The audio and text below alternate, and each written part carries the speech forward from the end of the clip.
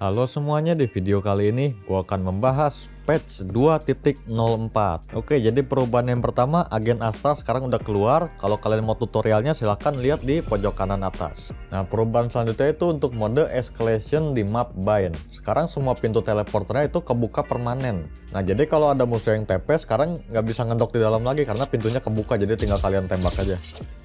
Dan pintu teleporter yang satu lagi juga sama, pintunya kebuka secara permanen. Nah, perubahan selanjutnya itu ditambahin voice line baru. Jadi kalau misalkan kalian ngebunuh spike-nya, nanti si orangnya itu ngomong spike drop di mana, contohnya spike drop A atau enggak spike drop B. Spike down A. Nah, untuk setiap agen juga ditambahin voice line baru, jadi dia ngomong tempat musuhnya. Jadi misalkan dia ngelihat orangnya di mid, nanti dia bilang enemy spotted mid. Jadi kalian tahu musuhnya itu ada di mid.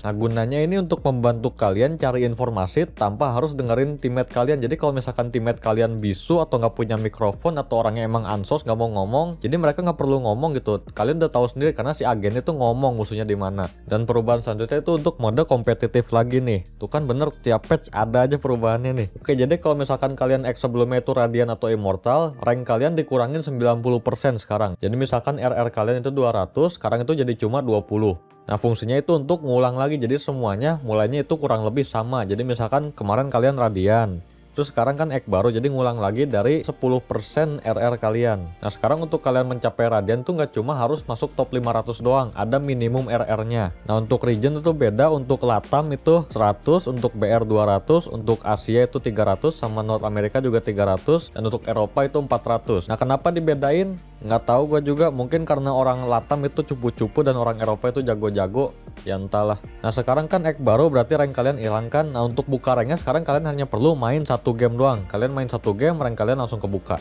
Dan sekarang rata-rata total RR yang kalian dapat atau kalian hilang saat udah main match itu dikurangin 5. Jadi contohnya kalian menang biasanya dapat 25, sekarang cuma 20. Atau kalah ngurangin 25, sekarang jadi cuma 20 juga.